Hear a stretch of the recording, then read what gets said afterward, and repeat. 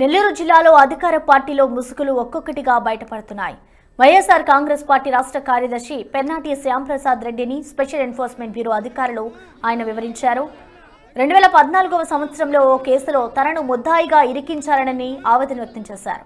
ఆనాడు ప్రలోభాలు పెట్టామని లిక్కర్ పంచామని తమపై తప్పుడు ఆరోపణలు చేసినట్లు ఆగ్రహం వ్యక్తం చేశారు. నా కుటుంబంపై దాడి జరుగుతున్నట్లు మా పరువు తీస్తున్నారన్నారు.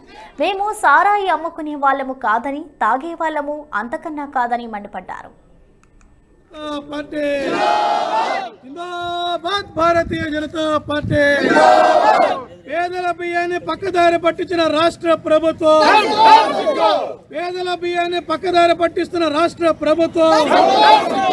పేదల బియ్యాన్ని పక్కదారి పట్టిస్తున్న రాష్ట్ర ప్రభుత్వం.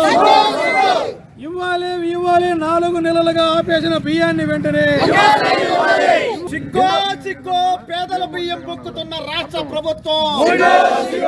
సిగ్గో సిగ్గో పేదల బియ్యం పొక్కుతున్న రాష్ట్ర ప్రభుత్వం.